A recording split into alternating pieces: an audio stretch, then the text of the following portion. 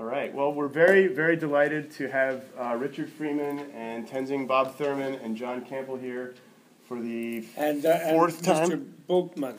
and and and Mr. B. What, what is your first name? John. John also? John Boltman is helping John Campbell. And I mean, this is this is as good as it gets here at Menla, and we really want to thank you for being here. And I hope you have a magical, transformative week, and seeing you all week. Thank you. Okay, Mike. Thanks, Mike. Where are you going? Thank you, Mike. That's Michael Burbank. And uh, I'm I'm uh, Bob Thurman. Mike calls me Tenzin. That was my nickname when I was a monk many years ago. And so, I mean, it was my name, I real name then, but now it's a nickname since I'm an ex-monk.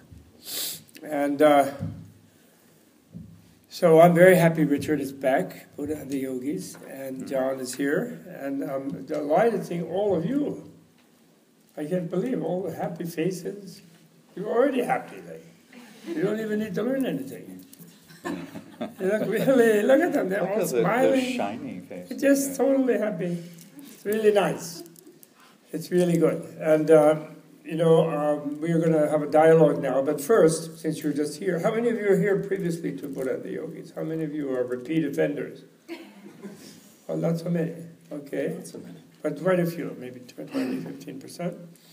And uh, then the others don't know that Menla means medicine Buddha in Tibetan. It, uh, Sanskrit is Bhaishajya Guru, and the teacher of medicine, medicine or medicine Buddha. And um, this mandala, this is medicine Buddha, uh, and there's a whole story connected with it, which I won't launch into at length. But it's um, there are eight medicine Buddhas, and one of them is the Shakyamuni, same as the Shakyamuni Buddha, who 2,500 years ago, who is the Buddha of our era and of this planet, still. And he turned blue when he te- taught the medical teaching. By thinking about the sicknesses and sufferings of beings, he turned blue. but he, this blue was a radiant blue light that anything that light touched was healed. Anyone or any animal or human who were touched by that light of that blue light were healed by that blue light. So it's a very good blue light. It is said to be actually the light of ultimate reality, perfection, wisdom, which indicates somehow that, you know, in this basic underlying structure, energy structure of the universe or something like that, there is abundant energy of healing if people are not blocked from connecting to it through their ignorance, by their ignorance. They connect to it through their wisdom, um, openness to it. And so that's why he turned blue. And then he created a thing. And so we have a sort of um, home home, med- a home meditation that we do that everyone does when we come here, when we do a spiritual program of our own. And that's what we're going to do now for a minute. That's okay. We will, we will enter the mandala mentally of the medicine Buddha if you would kindly go into meditative mode. You all look totally ready to do so at the drop of a hat. So it's hardly a worry. And, uh, you know, however you visualize or imagine sitting in meditative mode, John and Richard will not run around and correct your posture. Don't worry. Not yet. so, uh, okay, so, so now, now the, what you do, what we do is you calm yourself down. And um, if we're doing this at length, which we're not tonight, just, just introducing the idea to create the environment of the whole week. And uh, because this is the medicine Buddha environment. And um, so just first calm down. Then, and you know, usually we count to 10 or breaths or something like that to slow down the wandering mind, but you all look pretty concentrated. So, what you then do is you turn your attention back into yourself, and as if you're looking into your own face and into your own brain, your own body, your whole heart and back, and whatever, however much of a body scan you want to do. Looking for your real self, and of course, failing to land on anything solid. And when that happens, you feel a little disoriented, which is good. So you let that disorientation give you a little bit of a melting feeling and don't feel threatened by it, that you haven't come up with some sort of flag waving identity right away. If you do, you're making a mistake. and uh, so then, as we say in the, in, in the Buddha Dharma, let all become emptiness. Which just means freedom from intrinsically really being any sort of form of anything that is non illusory. So you sort of open up your mind to what actually you are, and you realize you're not quite sure, and what the world is around you, there, therefore, you're not quite sure. So then, but you don't just think of it as a nothingness or just an empty space. We just are open to whatever it might be. And when you do that, then out of that pure potential that is emptiness, freedom, you imagine a giant jewel palace rising all around, not necessarily the building that you walked into, which has dissolved. Instead, a giant jewel palace, in the center of which sits the medicine Buddha with a sort of body of pure light, like a jewel, like, like a luminous sapphire or translucent sort of piece of lapis, bright lapis. Smiling at whatever size you want the mansion and him to be, the medicine Buddha. And it's a vast building, and in the building there's Ganesha, there's Brahma, there's Shiva, Vishnu, Skanda, whoever else you, and Bhavani. Uma, of course, is there to make Shiva behave. And also many celestial bodhisattvas, Avalokiteshvara, Manjushri, Akasha like many, so many Maitreya. And then there are rishi sages, long haired, wild Himalayan sages, Hindu sages, and there are mendicant monks and nuns, Buddhist monks and nuns, the four main assemblies who are there to listen to the teaching of the medicine Buddha on healing. And then around uh, the walls of this giant palace are transparent and it is luminous jewels. It's like jewels that are sort of like neon jewels. They're transparent, but they also glow with light. So you're just flooded in any kind of light, rainbows of light. And whatever your nature is, if you're a little bit on the cool side of nature, the reddish and yellowish lights are dominant and they are warming you. If you are hottish, then the cool blues and greens, purples are cooling you and you're just suffused with light. And you yourself are not your habitual, slightly weary embodiment. You are whatever you most need to be to be balanced and concentrated. And in a way, your, your body, can, you, you can imagine your body being pure light with certain sensitive channels within it, and, and lotuses and chakras and things, depending on what you know about that however you like. But basically, you're made of light.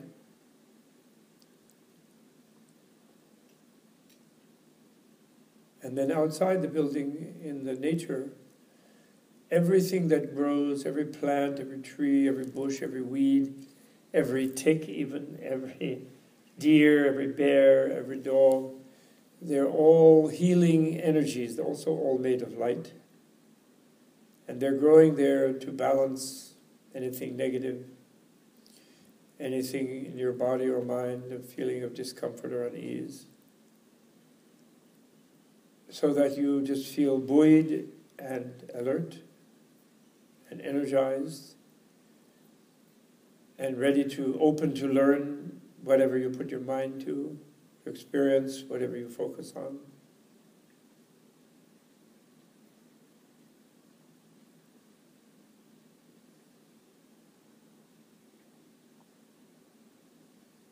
And this is the vision of Menla, of this hidden valley, what the Tibetans call the Beyul, a secret hidden valley, like a Shangri La valley. Actually, the concept of Shangri La was based on that kind of idea.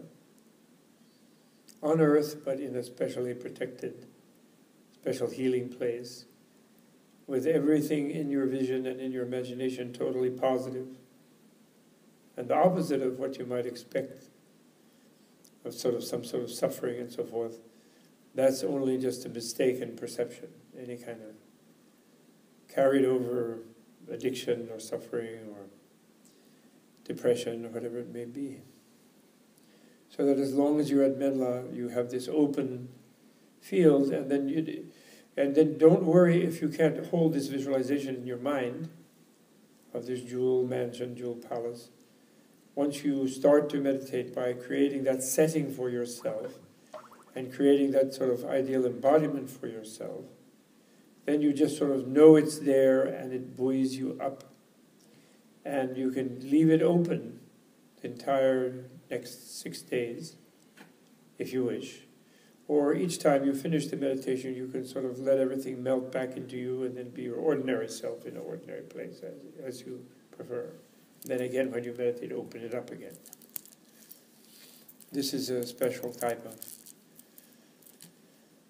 Indo Tibetan creation of a positive setting, like your own mental temple or shrine setting, when you meditate, so that you don't just bring your ordinary habitual process into the meditation. You shift that to be open to new insight and experience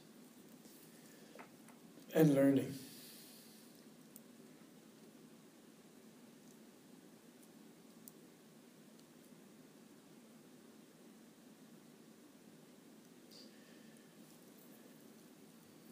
Okay, ding. Thank you. That's that's our medicine Buddha environment. Wonderful. Okay, now I'll turn it over to you guys. Look, To quick- Richard. Oh, yes, John. Can you explain why there are eight? Oh, yes, um, there were seven brothers in a universe maybe two billion big bangs and big crunches ago, because the universe in the Indian cosmology is beginningless. There's no like worry about the first creation. How did it first happen? Why did God make it like this? Sort of whole monotheistic thing. Not worry about that. It, it never made it actually. It doesn't exist if you're really wise. It, it's just pure bliss. But if you want to think of it, it's a beginningless, infinite bunch of big bangs. So thousands and billions of big bangs ago, there were these seven brothers. And they were sons of a king, and then they somehow practiced, and they all became enlightened, and they became medicine Buddhas. The way they configured their Buddhahood, their vow as a Bodhisattva, is that when I'm a Buddha, I want to have a body that will radiate a healing light, and anything in my awareness and in my field, anyone who looks at me or anyone who thinks of me will feel healed right away. Otherwise, I don't want to be a Buddha. They make, they make like a vow like that, like a Bodhisattva vow. And these seven brothers did that. And then they've been extending their healing energy all over the universe. And then they looked forward in time, because enlightened being, time, time is not a solid flow, and every moment of past, present, and future is equally available to the consciousness of an enlightened being, which is infinite in time as well as in space. And uh, they looked way forward and they found our universe and our galaxy and our little dinky planet. Actually, although apparently Shakyamuni Buddha operated on a number of planets according to the Mahayana. But anyway, they saw this one and they said, oh, that Shakyamuni Buddha is a macho guy because he's going to go to the planet when living beings are in a dark age, Kali Yuga, when living beings are really lowly in their expectations.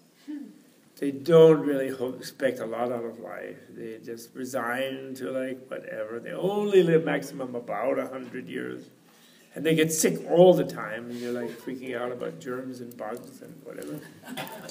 And so they're not going to be able to study Shakyamuni Buddha's teaching very well because they'll be sick all the time.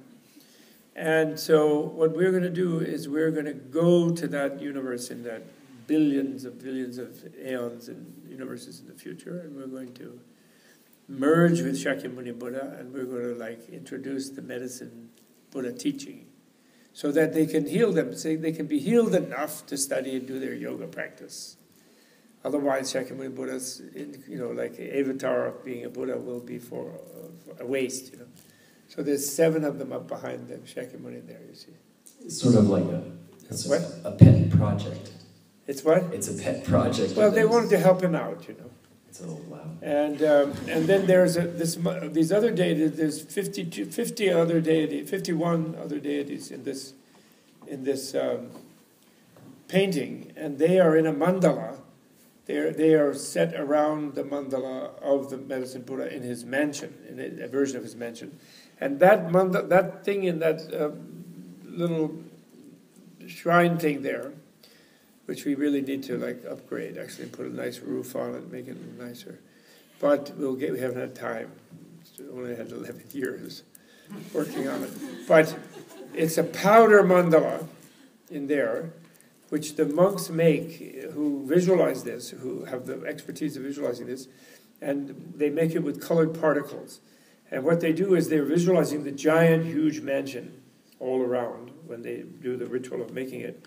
And then they mentally pull down, like into a blueprint, into a two dimensional plane, the main lines and structures, what's called the Brahma line and this and that line, of the, of the mansion, of the three dimensional mansion, holographic mansion that you visualize. And so it, this, it's like the seed of the vision is contained in that mandala over there.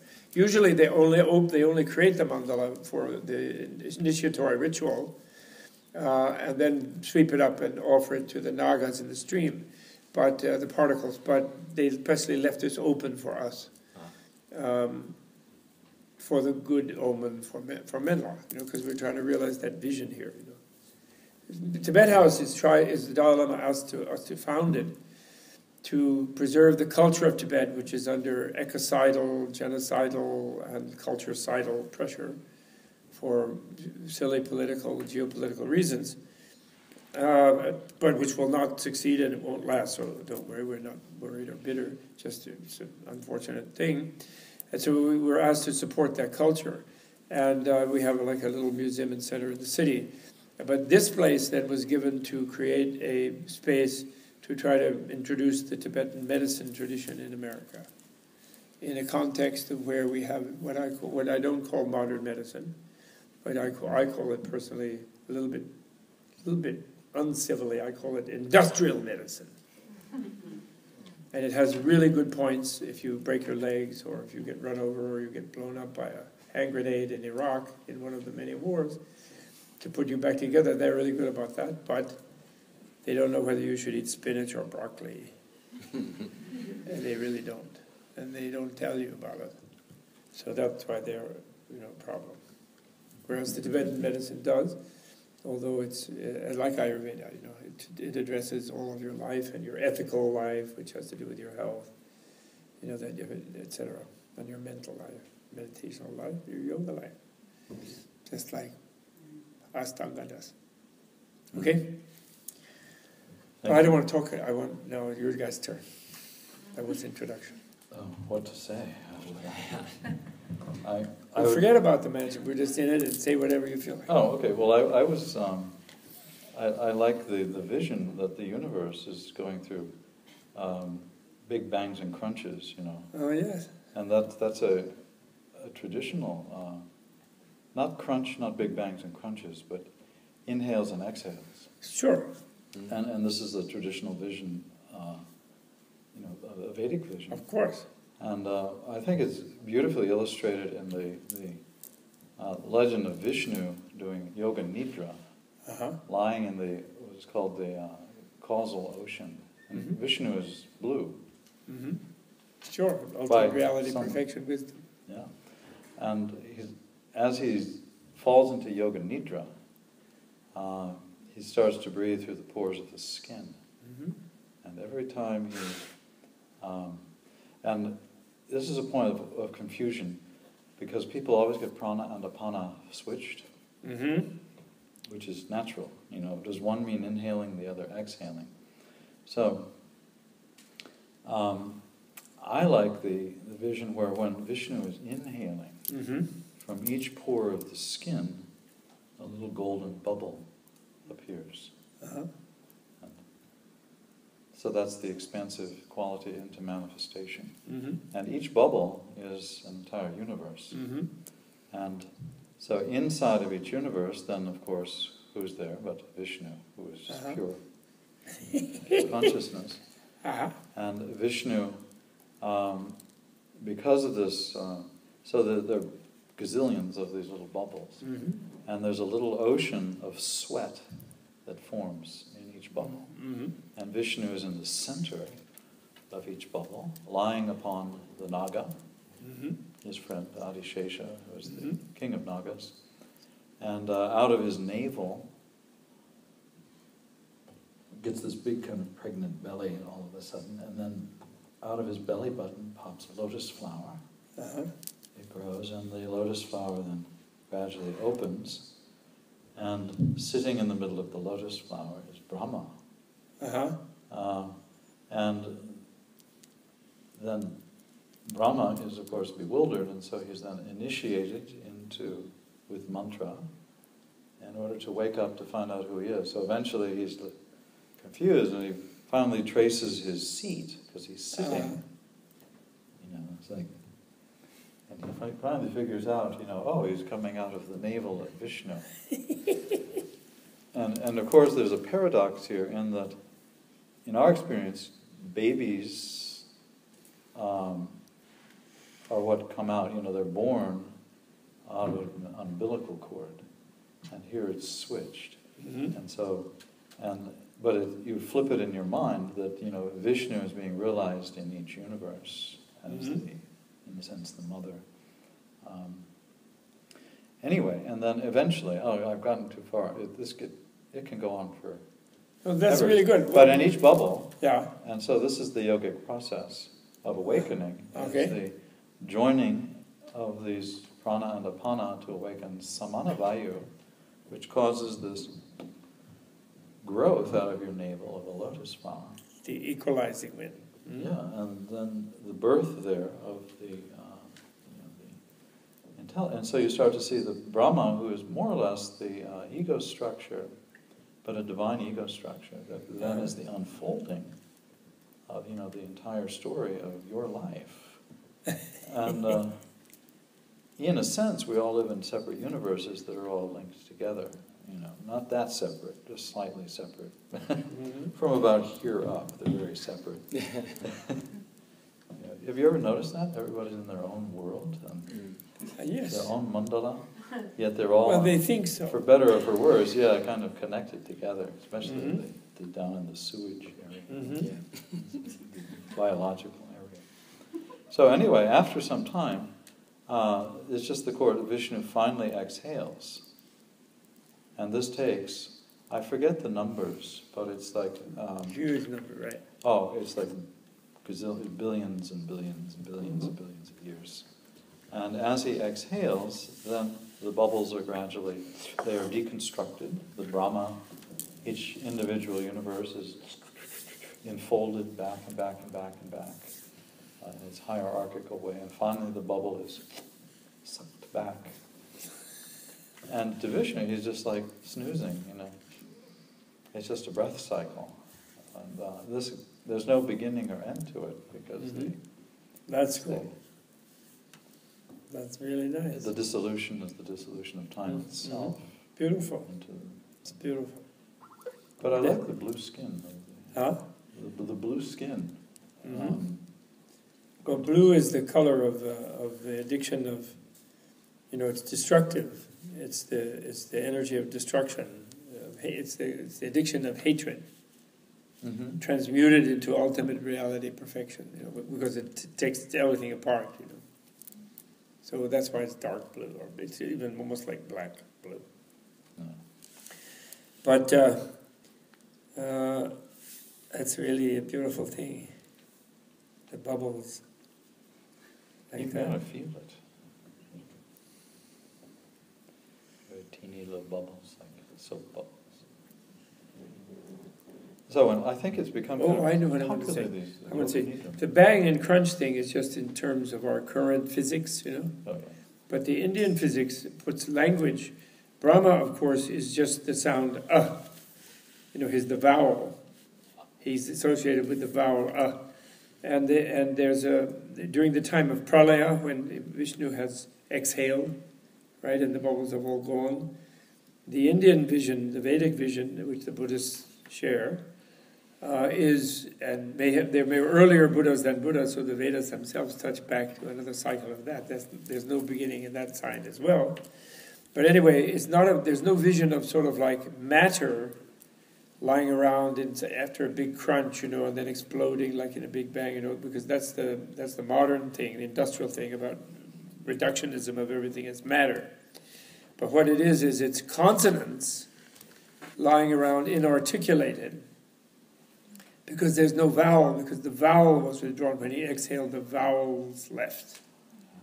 And so Brahma is, is the energy of language and vowels. And so when vowels come, then they sweep up the consonants and they unite with the consonants and then they make mantra. And then from mantra, all the individuated objects of different, of those many multiple different universes.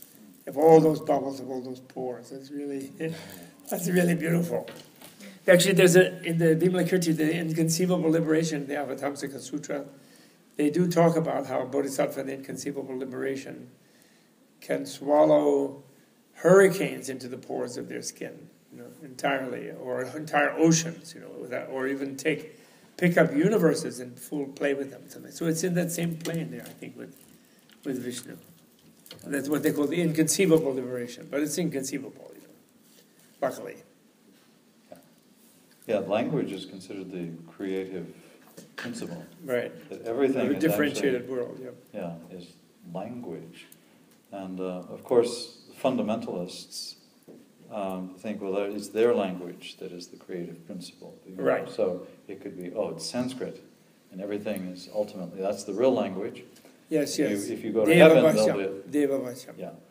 Or, or maybe it's Hebrew, or What? Hebrew, or Well, yeah, then Or- other people think Hebrew, and Yeah. other people think or you die, Chinese. or they think, you know, you, Right. you, you go to But heaven there must and be a level. I was just thinking. I just wrote a thing about translation and w- of- of what they call an Avenika Dharma, a special, an exclusive property of a Buddha, Mm. is that when a Buddha speaks to a crowd of people from many different countries, because Indian always was, everybody hears that in their own language.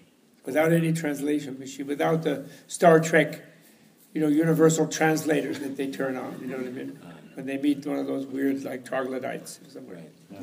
And uh, and so that must mean that you he, he is manifesting from the underneath that sort of in that same breathing level of Vishnu. Yeah. I like that breathing level. I really do. Through the pores. That solves the problem of no more coarse exhalation and inhalation. Breathing through the pores. Yeah. It's the kumbhaka way, yeah. That's that's nice because when you dissolve into the central channel, of course, you yoginis, then you, of course, one of the signs of dissolving your energy in the central channel is that you you don't have coarse respiration. So it seems like you might be dead, but you don't have to worry because the energy comes in through the pores. The yogi can do that. They say. Is Kevala Kumbhaka. What? I think that's what uh, in the Ashtanga system they call Kevala Kumbhaka. Kevala kumbha. That must be the, right? the total pot.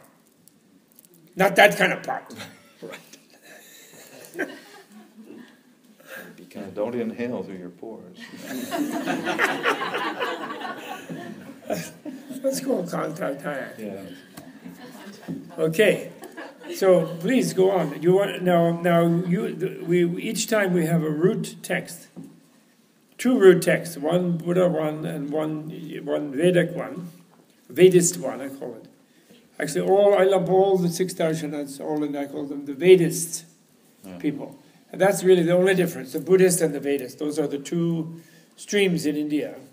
Yeah. Buddhist and Vedist, and nobody uses the term Vedist, but Well, it the- would be the right term to use for all of them. Maybe too narrow, because there's so much of the, what we call the Vedas tradition or the Sindhu tradition, Really? But don't Which they all is- say the Vedas are the holy writ come from? No, not all, because Really? the, the agamas and the tantras um, are the, it's kind of like they're right on the edge of the Veda. Everyone likes to claim the Veda these days because Right. Well, You Buddha get more did it. Buddha respect. did it. no, which He said they were like a little bit drunk, the people in the. But they like it's good poetry, but Yeah. they don't claim it as, as, uh, but it's kind of as, class as, thing. as like a literalist, you know, like fundamentalist way. They were the anti-fundamentalists of those Exactly. ancient times. But uh, there's so much in the Indian tradition that lies outside of the Veda that was adopted by the Vedic priests. Yes. And this is, you know, like all of the, the early Shaiva teachings and things, Yeah. probably not truly, you know, they were indigenous groups. Um, so there was a lot of mixing and mixing. And so, and, you know, like today, like uh, the, this, this text we have here, the Bhavani Bhujangam, which supposedly was composed by Shankaracharya, who was ultimate Smarta Brahman, Right. Veda, Veda, Veda. But they didn't do this kind of teaching in the Vedas. This is a, uh, this is Sri Vidya Tantra, that's what it is, which is kind of like a, an amalgamation of bouncing off the Veda, because the Vedas, Right. they're the orthodox and they're the strict, and they're Right. the ones with the class and the political power, and everybody wants to get in. Where is Shiva in the bubble with Brahma and Vishnu, by the way? He's in Vishnu's heart. Ah, good. It's the safest place to be, particularly if there's no. If what? Yeah, particularly if there's- if everything is dissolving, you want to get right in there. So where he's uh, and where are so we? so he's in, in Vishnu's heart. So he's like what we call the the uh, gnosis hero. Yes. The, the, the, the large thing of, of Vishnu would be what we call the commitment hero. Then he's the Mhm. gnosis hero. Then in his heart, there's like a mantra that is called the samadhi hero, something like that, or drop, like Yeah. a Bindu. something Yeah, like that. into a drop. So is there a, there is a Shaivite meditation like that where they put them in the heart? And That's cool. the question is, where are you in this? uh, But where's who? You. Who me? Yeah, I'm there with him, yeah. Al- although not really. I mean, with all these things like bubbles and like, Yeah. like it's pretty. Uh, Well, we're all there and Yeah. everywhere, but you know, we're we're- unfortunately we're not really aware that we're there yeah. enough. Unfortunately, and and if Shiva's there, then Uma is there, Yes. and then without Uma, Shiva's like forget about it. Yeah. But I, then that's why I think That's the- why Bhavani is important. I think Yeah. his uh, I, the Vedist, you know, made up word Vedist. I think that works nicely though because then it doesn't disallow for you know these whatever the, it, it's it's uh, it's a catch all Yeah, as a catch for um, yeah. you know, Rather this than Norse- Vedic, Vedist is. But Well, you know, the, Vedist, the, the yeah. Brahmin expression Nastika, which people think means nihilist, doesn't mean, the only reason it's, it, it doesn't mean nihilist, it's not like a Charvaka. The Nastika, which is the thing leveled against the Buddhists and the Jains and uh, some others, means one who doesn't accept the divinity of the Vedas. That's what it means. It doesn't mean otherwise nihilist. It sounds like a nihilist, but it doesn't mean, it means nihilistic about the, about the divinity of the Vedas. Mhm. So it's like those who don't think that the Bible, every every statement in the Bible is Is is the, is the you know literalist, like those people who are in, having a drought in Texas. That guy who interviewed them went up, and he said, "Well, well, do you think it might have something to do with climate change?" And the, the people said, "Well, no, we don't see anything in the Bible about climate change, so we're not having climate change." Yeah. Cows are dying at their feet, you know, with the drought, you know, but it's no climate change. Okay, so but my point is in the two root things here, we have Bhavani and we have the Vajra Yogini. Mm. So we are actually attentive to the female wisdom in this coming yogic session. The two root texts we're using are, which is lucky, because we guys are massively outnumbered. Particularly in the yoga world. What? Yeah, in the yoga world. In the yoga world, the Buddhist world, in the modern Oh, period. yeah, in the modern Buddhism. Oh, definitely. Those monks are running around like looking seriously. Dalai Lama's ready to give in. He said in Italy, he said, I think I'm going to be female in my next life. He said, I'm going to reincarnate as a woman, he said. Because he said, I think women tend a little less to want to drop nuclear weapons on other people. A little less into it. Not totally less, but a little less. So that's necessary. And then he also he made he really pleased the Italians because he then said, "And in that life, I'll be so much more attractive." And he went like, he did. He actually made that gesture. He did. He's pretty cute as it is, but he said, "Oh, I'll be much more attractive." He did say. It was in Italy, though. I don't know if he would say that in America. Maybe we don't deserve it. The Italians are so cool. They appreciate fashion and so on. So that's what we do. We have these two things which we will touch upon. And we each have like a, a few salutatory verses um, to, to riff on. And um, Can you you- can, you can, can you describe? Uh, can you give a, a any introduction to yeah, this? Uh, where this Text came text from? come? I, not Oh. so historically, but just in its tradition. You say it's Sri Vidya Tantra. Tantra. Yeah. So this is, um, so Shankaracharya is, um, by many people consider him to be, you know, the, the great philosopher in the Vedanta. Of the Vedas side. Because, Right. he, yeah. Well, although the Vedas Buddhists stuff. say, the Buddhists say actually he was he, be, he became Buddhist afterwards, vice versa. And actually the Hindus kicked him out saying he was a crypto Buddhist, Prachabhavata. Pratyanabhauta. Yeah, exactly. And, So we uh, do love him actually. Yeah, and uh, anyway, he he was in the seventh century, eighth century, Eighth century. eighth century. Well, he had three say. lifetimes, oh, Shankar. one after another, and from the Buddhist way of talking about it. Oh, He had he was he died young twice in a row, and then third one was where he wrote all his stuff. oh. So he had three immediate. there's a lot of texts that are attributed to him. Right. Um, Well, I think he wrote them, but Western scholars don't think so, Well, yeah, but because they think every ancient person is just as stupid as them. yeah, and they think, how could he be such a hardcore, dry philosopher and write all this beautiful devotional poetry? Oh, fantastic. just like how could Naga, you have a person Nagarjuna is his counterpart on the Buddhist side. Yeah. Nagarjuna. Yes. Nagar. He Naga. attained his aim with the help of the Nagas. Anyway, for Ashtanga Yoga, Pattabhi Jois is in the um, Shankaracharya lineage by his family.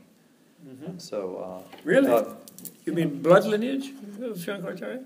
Yeah. Through the family? well, Really? no, well, you know, he's a Smarta Brahmin, and, Right. hmm? and so is Amma. So the both of them. Yeah, and Amma, his wife, uh, his her family were the head priests at uh, the uh, Shiva temple in Nanjangud, Oh, cool. which is 20 or about 40, 50 kilometers south of Mysore. It's the oldest existent Shiva temple in South India. Hmm. And uh, she was cool. And uh, two of her brothers wrote Sanskrit uh, grammar texts, and uh, she knew everything. and, and Pattabhi Jois taught Sanskrit at the University of Mysore Sanskrit College for 32 years. Mm. So he knew his his stuff, and he would all you know when you when he was doing Mysore class, he was always chanting you know the text of the day or the text of the week, and he was just chanting and then chanting, and when he'd come down to what you know there's a in the meter there's always this like what they call a guru verse when you put the pressure on the word you know Mhm. it's all part of the iambic pentameter or something. Mm-hmm. And he would squash people, you know, in rhythm to his chants. You know, so a lot of Indian classical music and rhythms came out of those Vedic chanting Um, yes. patterns. And uh, anyway, he. What am I talking about? Uh, being, uh, you know, being a Brahmin, he was very reserved about teaching non-Brahmins the good stuff. Right. You just practice and all is coming. Practice, practice. And, and you had to more or less like catch him, twist his arm, which was very flexible because of all the yoga. And then he would, uh, and this actually he liked, just like that's traditional in the Upanishads, you gotta like corner the teacher and like practically give them no out, but to tell you what you want to know. Um, and that's a very Hindu thing because they think, well, you know, you're not enlightened. This, it's the Buddhist approach is very different. You know, we're going to be really nice to everybody. The Hindu approach is, you know, better luck next life, sucker. You know? a little, you know, it's a little bit like that. And, and of course, all, you know, people who are developed in either tradition are, are very nice, you know, and very compassionate by nature, but that's just the, the teaching tradition. And so, um, he, so Pattabhi Jois is actually an initiate in the Sri Tantra Mhm. tradition. He was a, he did Sri- puja. That's Vaishnavite, right? then? Vai- Sri Vidya, or. Vidya? Shaivite. It's Shaivite, okay. Well, both, because Shankaracharya was also a secret Vaishnava, Mm. I see, okay. who was actually a Vaishnava who was a secret, you know, he, he was very clever in that he, more or less, you know, the idea of the nesting doll. He would put each god or goddess and each tradition basically inside of one another, as, which drove Right. people crazy because Right. you know, well, we are the highest tradition. We have the most esoteric and the true teaching. And then he would agree, and he would by, write verses to a particular god. Uh-huh. Um, and then, and saying, oh, that is the highest God, and you know, and like in this Bhavani Bhujangam, uh, Bhavani's lotus feet are being served by Brahma, Vishnu, and Shiva. And so she's obviously, you know, their boss, Right.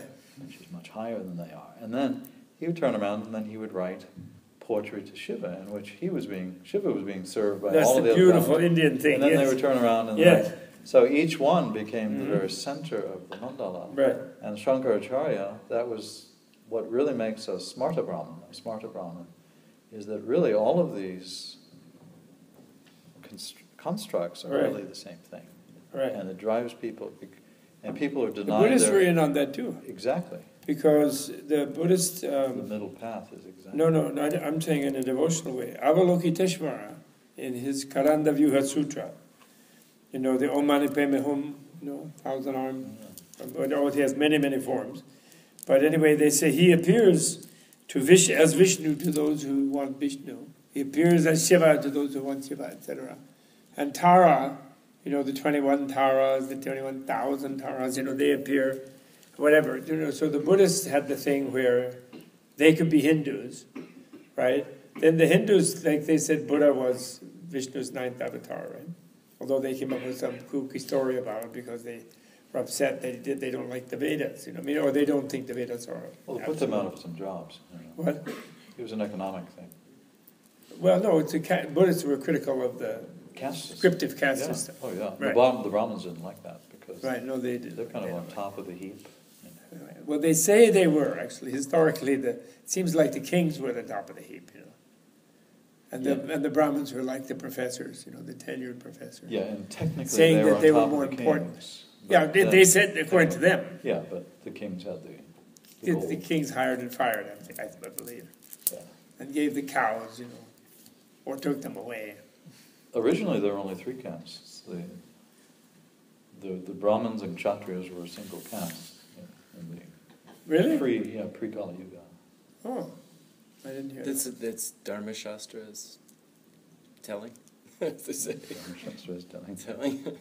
There were only three. Then it broke, broke apart because it was too much work to be king and priest at the same time. So then, um, Right. so my, my question was uh, also, and then to follow up with that question, so if he was an initiate in the Sri Vidya tradition, uh, is then his Panchayatana puja, is that a Sri Vidya?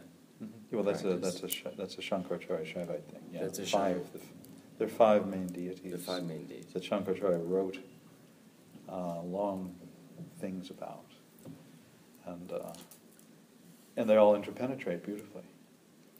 And so he was considered by uh, the people who belonged to each sect to be a, a, a, a problem because basically he was showing the, ultimately he was, he was teaching the emptiness of their tradition, the relativity of their Oh, Shankar, that's right. Yeah. Yeah. So they And- kicked him out and said he was a Buddhist. Yeah. but he was a very good debater. And, Yes. And so people would, the story is people would, Shankaracharya is coming to town, and if, if you were a, a scholar, you would run, you would leave town. because if you were de- defeated in debate, you had to become the disciple of the person who out-debated you, mm-hmm. which is worse than modern academia, you know.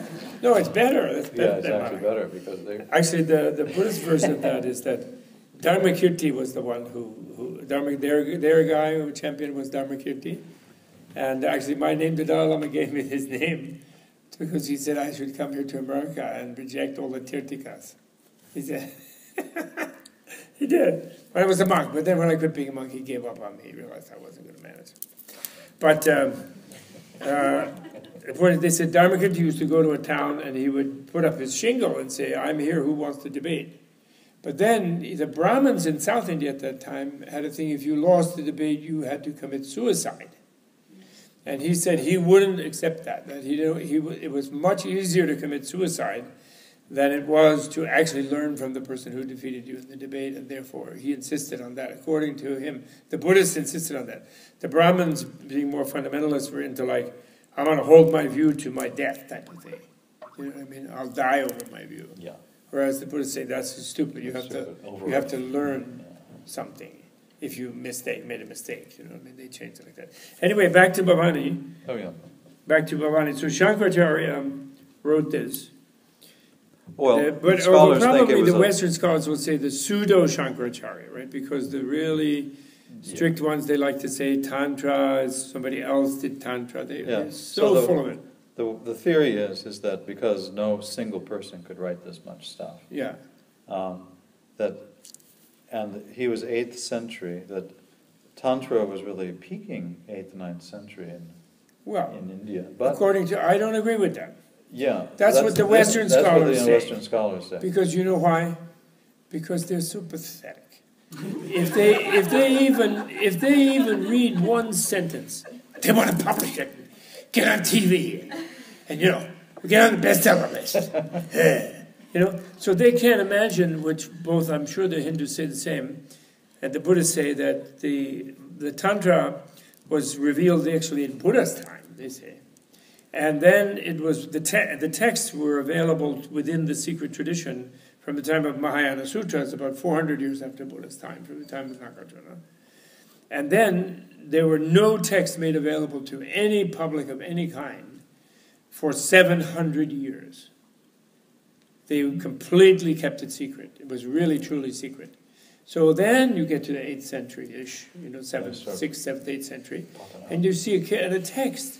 So the Western people, because they cannot imagine somebody would have a text with one verse in it, and they would publish it, so they could make money and be famous and get tenure and a bunch of whatever. They can't imagine that people would actually keep it secret because It was sacred, yeah. it was so far out, right?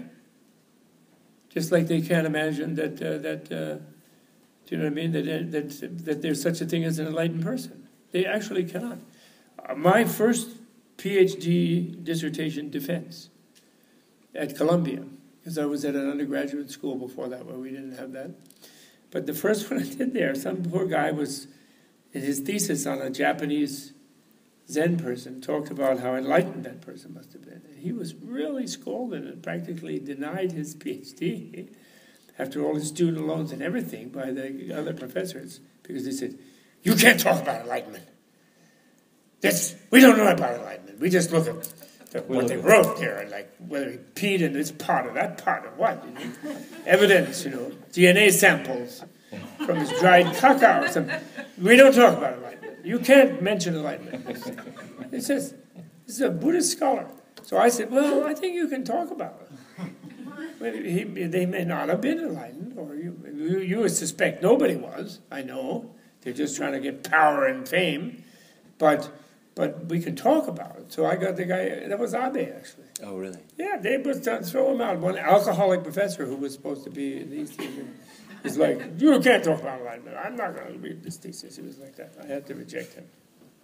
Then they said, well, okay, if Bob Thurman wants you to, I guess, you know.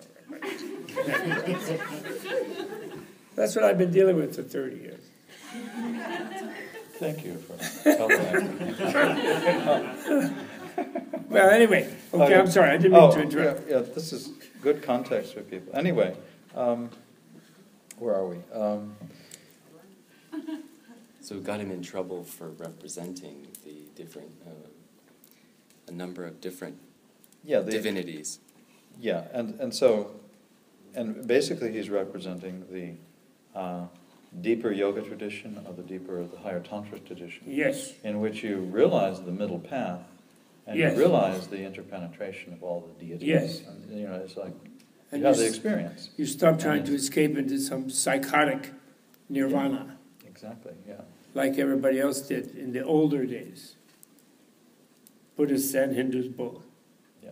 You know, the idea that there's this that the goal is what do anybody does anybody think that the goal is nirvikalpa samadhi? Be careful when you answer. Yes, that's right.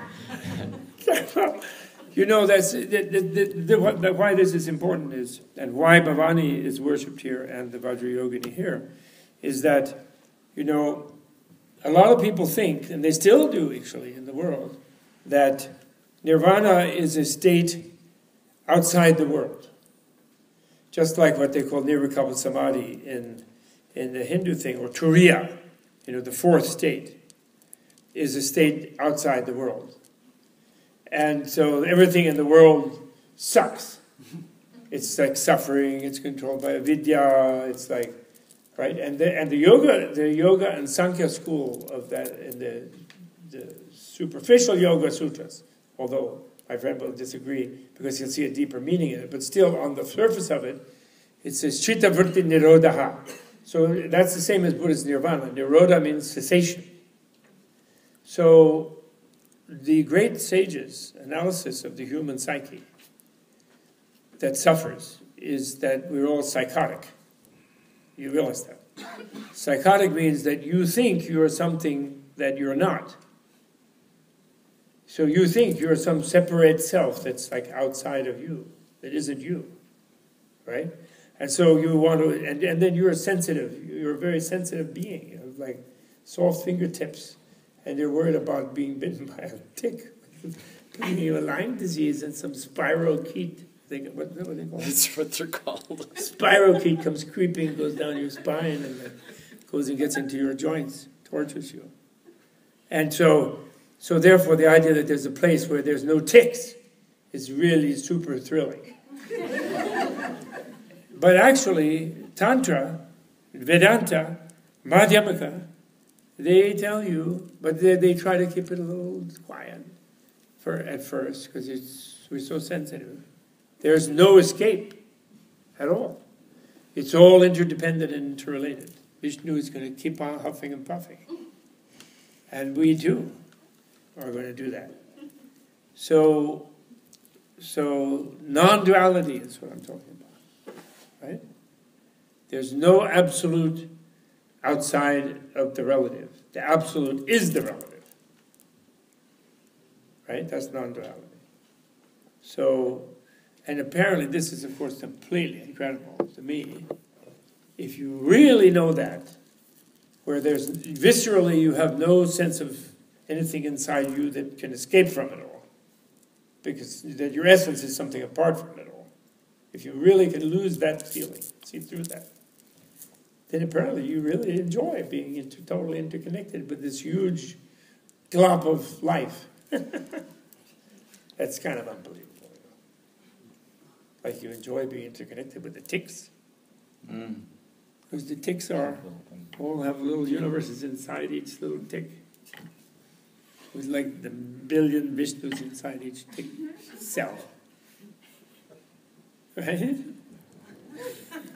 Anyway, I'm sorry, that's a digression. Now, so back to the, back to non-dual Shankara. Oh, yeah. And so Shankaracharya, um, I can tell more history. His, his Good. guru was named Govinda, Mm-hmm. and then uh, Govinda's guru was named uh, Gaudapad.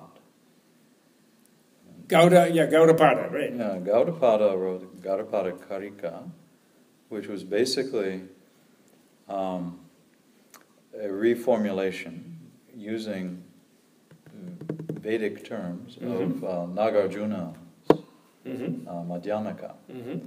And so, I love Gaudapada.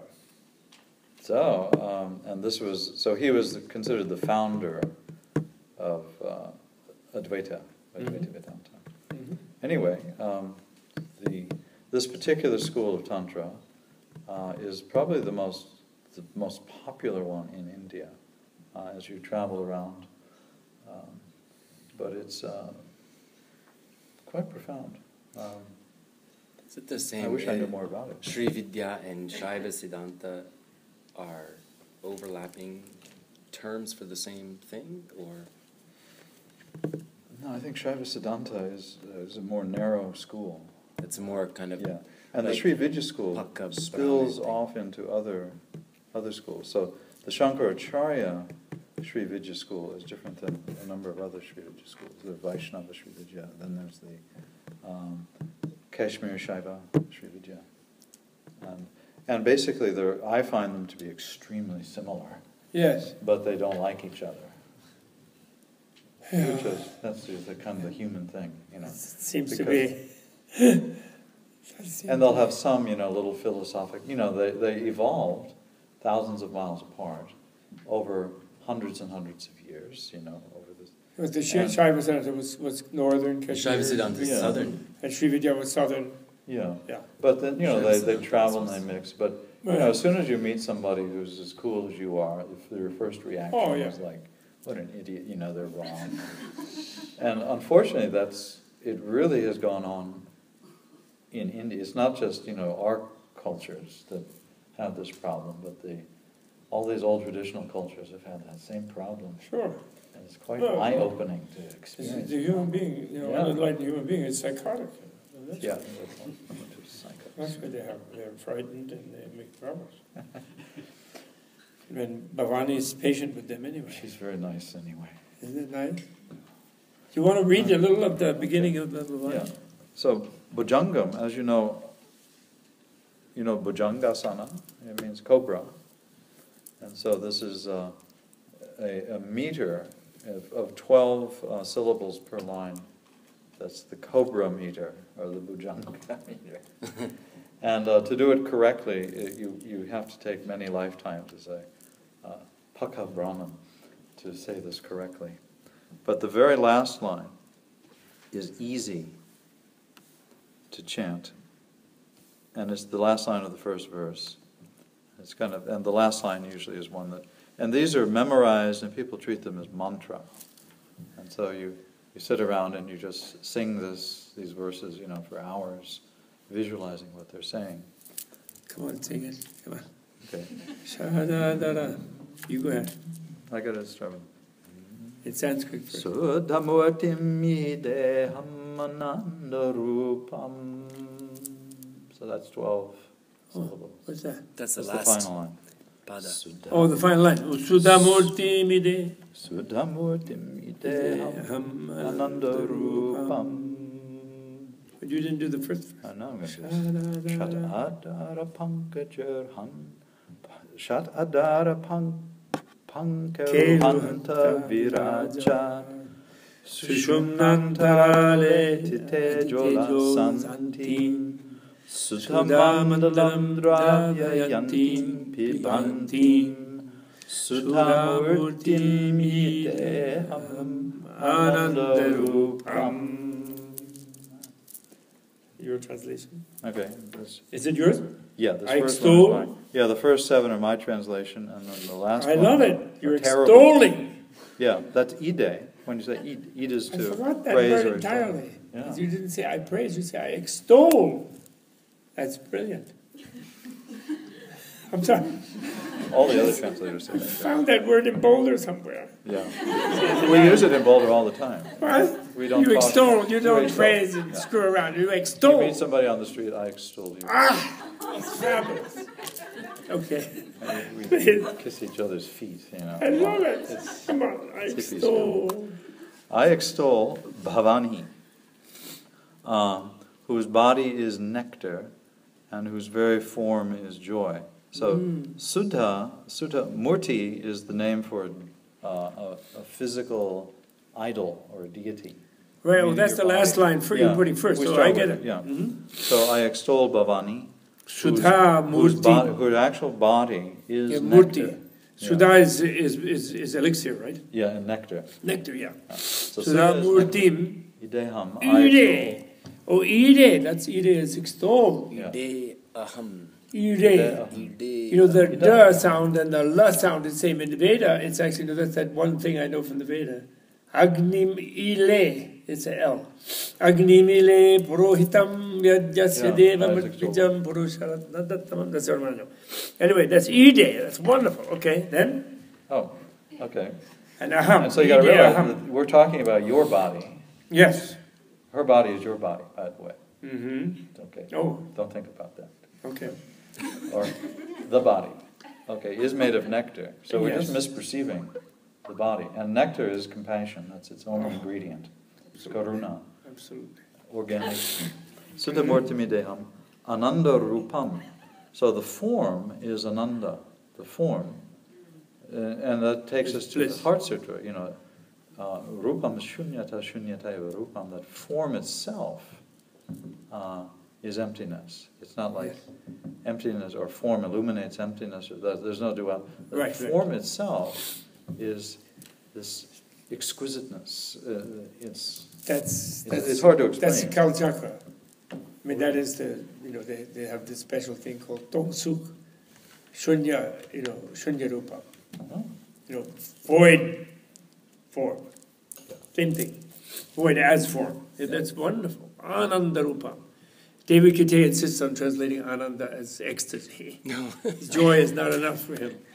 He says Ananda He's Rupa. been to Burning Man a bunch of times. What? What? He's been to Burning Man a bunch of times. I know. Yeah. We're going this summer. okay. Then we get back to the, the thing. Okay, so- so that's the last line. I Yeah, extol Bhavani. I Yeah. used to, I knew a wonderful woman named Bhavani. Actually, she introduced my wife and myself. Many years ago, she passed away since then. She was called Bhavani by Gayatri Devi. Remember her? Yeah. And she- Gayatri Devi gave her the name Bhavani. She was really a great, great woman. And what does it mean, Bhavani? Bhavani, Bhava means existence, right? Mhm. Bhavani, the, I guess it means that she's all existence or something. Yeah, she's all, she is, It also is, it's the earth too, doesn't it mean? it also has the earth. Bhavani. The- The root is bu, to be. And there, it's like, you can squeeze so many different meanings. It means becoming and being. both. Right. Uh, So- being is so becoming, becoming is It's being. beautiful, it's so Yeah. beautiful, it's, it's so loving. He, he loves her so much, adores her so much, that her body itself, he perceives, as made of nectar. It's not, not flesh and blood and like weird stuff. No. It's, the body itself is nectar, Yeah, and it has a form that is pure ecstasy or joy. and this is actually, This- mhm. as we'll see, this is actually the form of your own subtle body, or your meditative Mhm. body, Okay? which is the next, uh, oh, you're going backwards, that's okay. Well, we yeah, go- Now we gotta go forward. He triumphantly shines out at the end. Oh, Yeah. you, you're, Shat okay. Adara Pankaja Ruha. So Pankaja Ruha are lotus flowers. Shat um, Adara is at the end of a stream or string of lotus flowers, um, of six lotus flowers. Uh-huh. guess what those are. Uh, she uh, is uh, at the anta, the end of it. She virajats. She shines. Virajat, yes. That's right. That- That's the same word as Raja, king. A king Yeah, is supposed to shine. Yeah, Right. And so. So that's at the end of the, uh, at the end of the chain of six chakras. I So see, that, remember, yes. the crown chakra is not a chakra hmm in uh, technical language. At the end of the six chakras. Yeah. So, but. At either end, you can choose, depending on your, your sect. What? Either end of the chain. Yes. Okay. hmm So it's at the end of a string of six lotuses.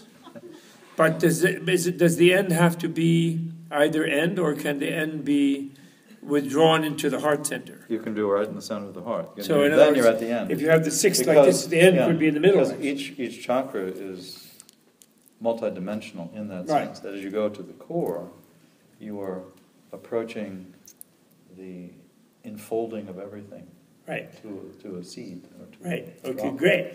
So it's, um, Exceedingly lustrous in the middle way of the Sushumna. Sushumnantarale rale atitte jola santi. mhm. Ati. Atiteja, right? Yeah. Teja is that energy, luster. Mhm. And I don't know the jo, ola, ula santim. Yeah, Ula is, is shiny.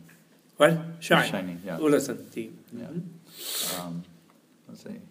Lustrous, uh, yeah, exceedingly lustrous. Sushumna. In the middle way of the Antarali. Sushumna. Antarali is in the middle, in, in- within Yeah, in the within center the Sushumna, yeah, of the Sushumna. yeah. Sushumna is the Avaduti, we call the Buddhists call it the Avaduti. Yeah, the central channel, Yeah, right? You all know about the central channel? plumb line. Goes from here to the tip of the genital, up to the crown, down through all. And you don't have to have six chakras. You can have nine. You can have five. You can have different numbers, You can have lots of, yeah, right? yeah. You can have. But there's six, you know, that are, Yeah, no, those are main six. Yeah, yeah. and then down to the tip of the genital, male or female, right? That's the sushumna. Okay. Closed off in the unenlightened person, ordinary person. Sudamur, Sudha Mandalam, She melts the Ravya mandala Yanti nectar and drinks. So- Sudha Mandalam means the, the mandala of nectar, and that's a name for the moon. Uh huh. Okay, so the moon and the, the moon.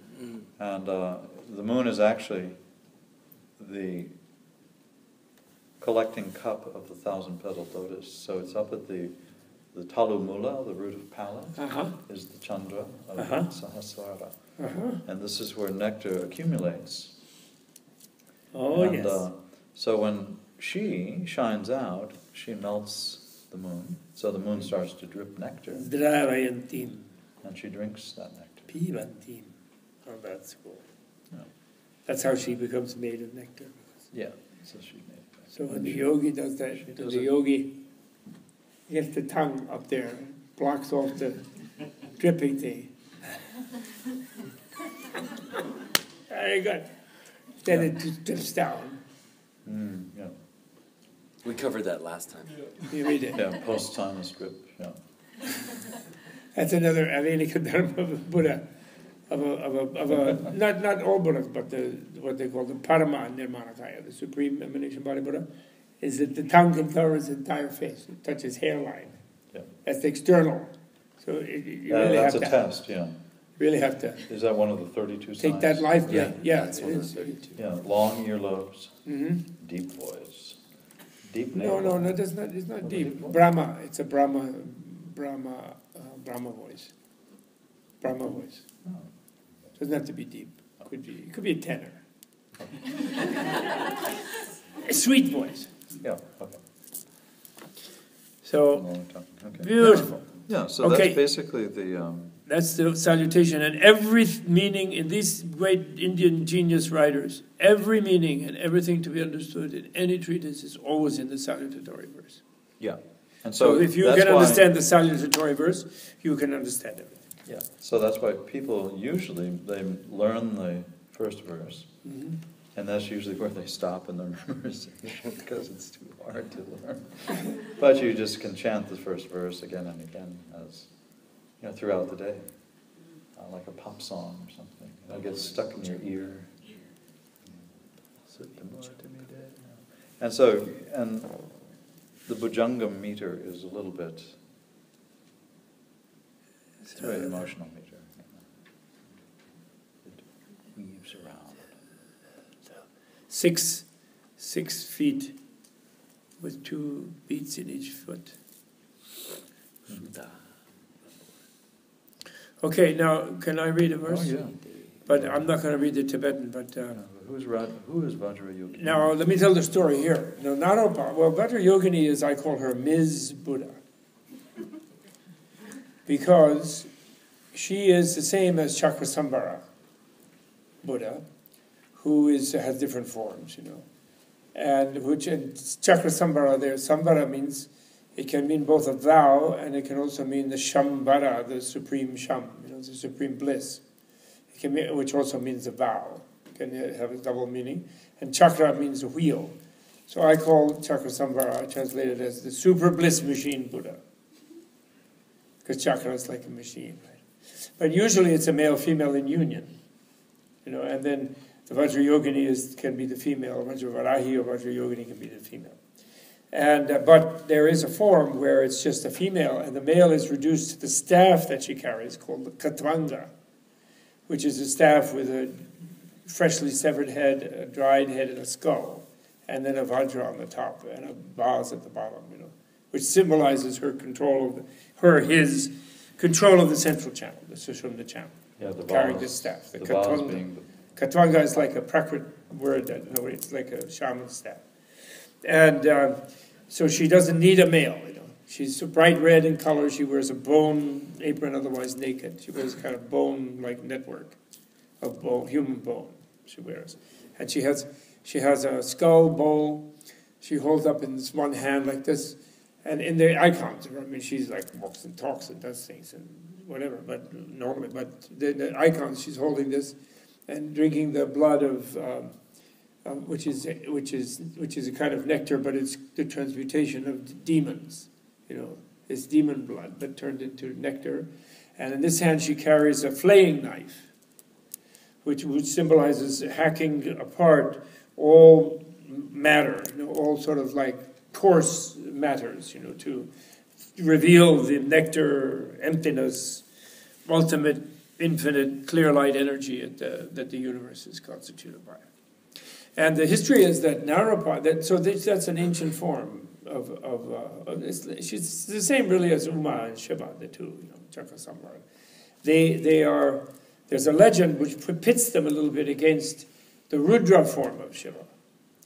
But the Shiva form of Shiva it's the same, I think, basically. You know, Rudra means rude, you know, Shiva means peaceful.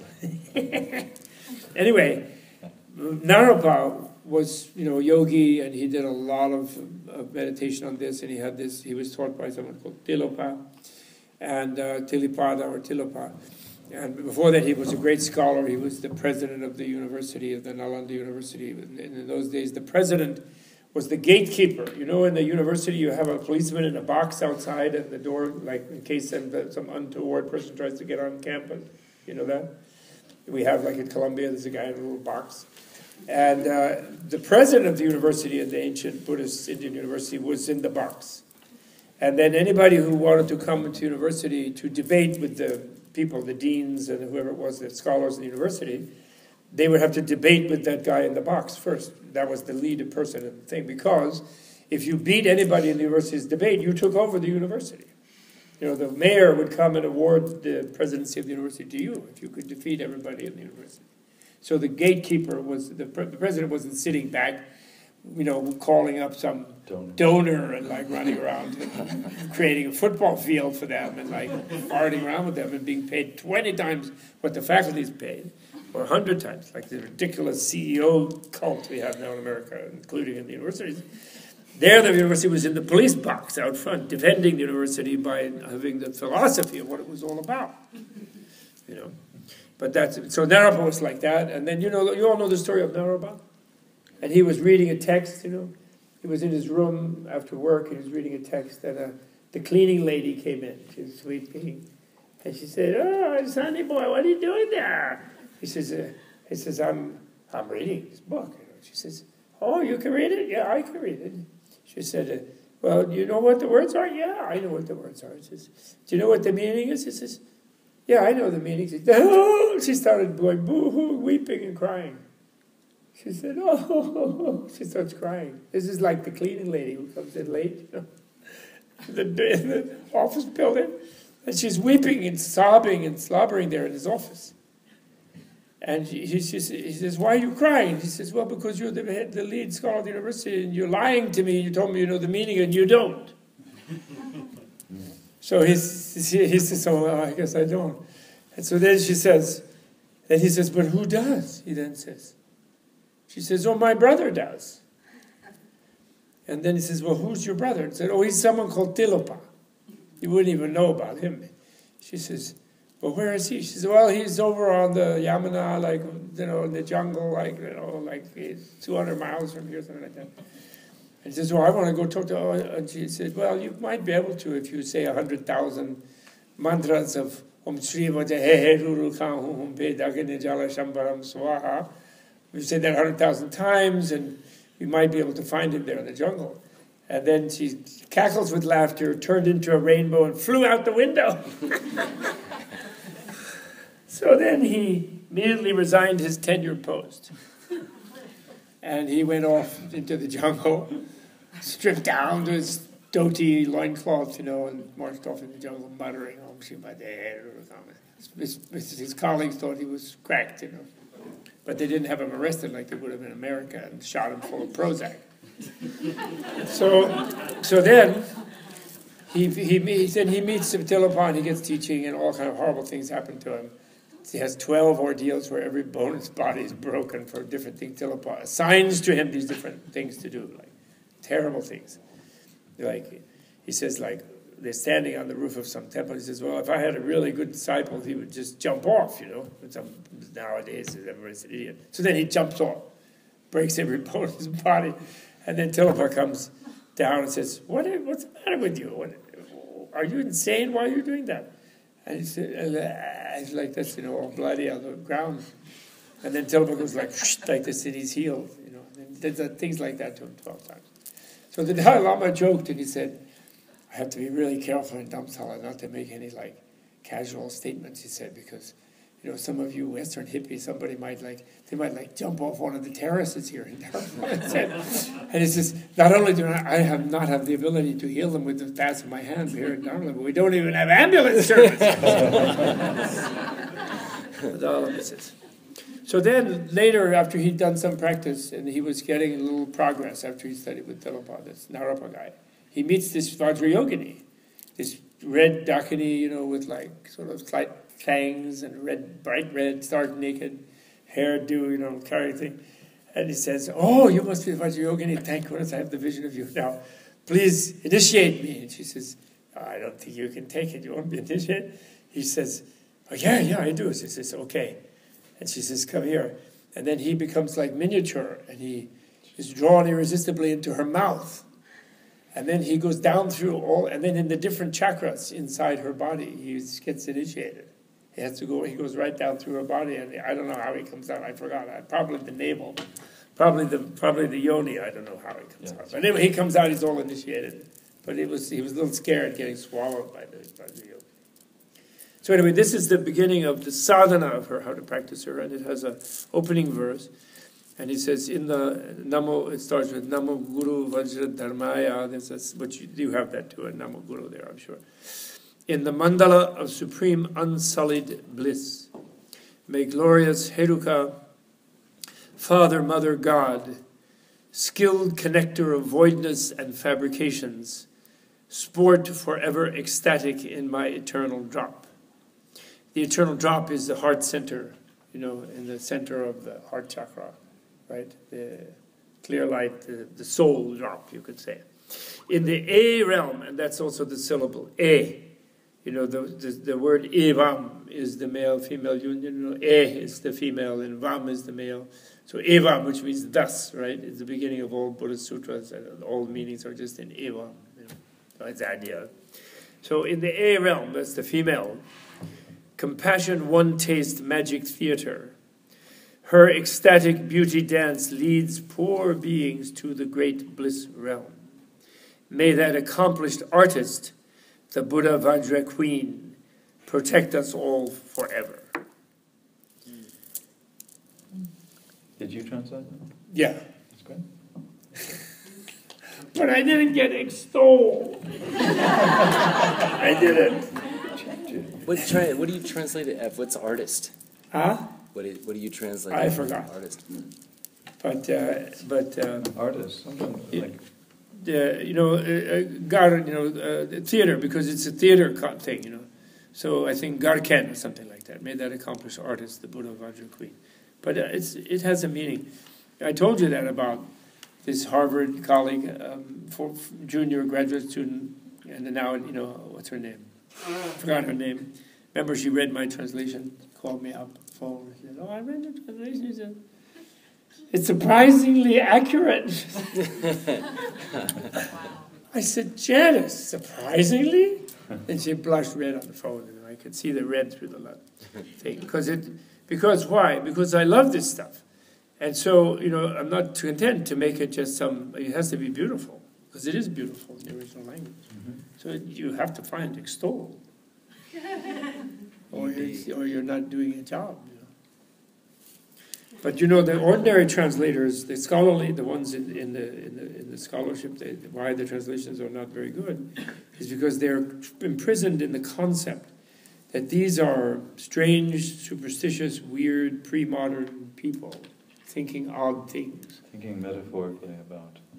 Right, and so they're kind of doing archaeology of like what could they have been thinking, sort of thing. And they're thinking like that, so they don't they don't love it, you know. They don't.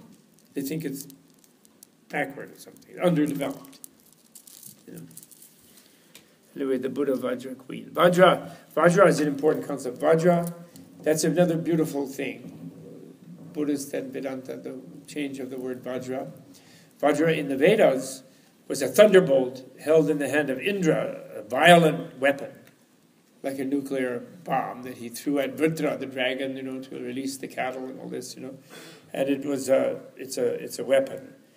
But in, um, it comes to be in a diamond, and, uh, and it means clear light of the void, and it means the energy of love and bliss comes to mean instead of violence and domination it means love and bliss you know melting powerful love and bliss of emptiness. It's really which is a nice that's the whole indian culture is like that. It's transvalued that thing you know. Buddhists and vedists working together. Bhavani and the vajrayogini. Okay. People need to sleep they need to get up to see john hear john campbell needs to get up. Yeah what's your question Will we get a copy of these translations? or- sure They're gonna, eventually they're gonna print them. Yeah, I'm going to pick some pieces of this sadhana. You- In a way, to do this particular sadhana, that I'm. Maybe we could get a head, actually a head. Okay, count. let me re- let me read the next verse. Let's finish this first. sal- It's a salutatory thing. To care for the fortunate in the twenty-four holy lands. That's one last thing I, we can talk about. They create because it involves Shiva. They create various visions of uncertain transformations. May the field born, mantra born, and orgasmic Dakinis, Dakini and Yogini are the same, female Buddha, female enlightened being. May the field, and these are different types, field born, mantra born, and orgasmic Dakinis keep us lovingly and grant our wished for powers. City, that is. Especially when we're caught in this darkened age, this best special short uh, shortcut, very deep and fast the springtime energy of the Tantra meaning ocean, the Dakini's heart essence nakedly revealed. May the highly fortunate take it as an ornament.